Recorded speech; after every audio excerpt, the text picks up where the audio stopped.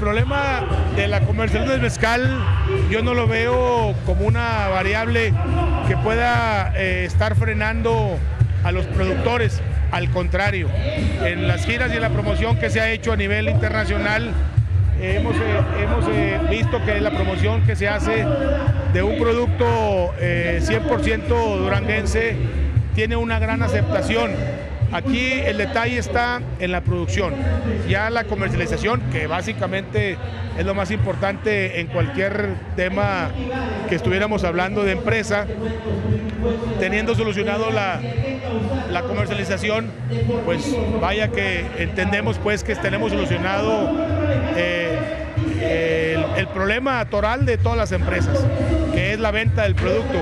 Acá la, definitivamente eh, el producto ha tenido un reconocimiento a nivel mundial, lo están esperando, requieren pues de nuestra producción. Basta pues que eh, los productores en su organización que ya tienen y que nosotros hemos estado apoyando muchísimo para la apertura de las plantas elaboradoras de mezcal se den.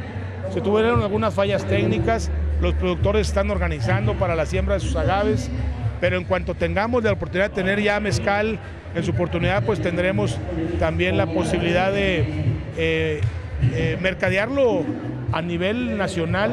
y a nivel internacional, tiene una gran aceptación.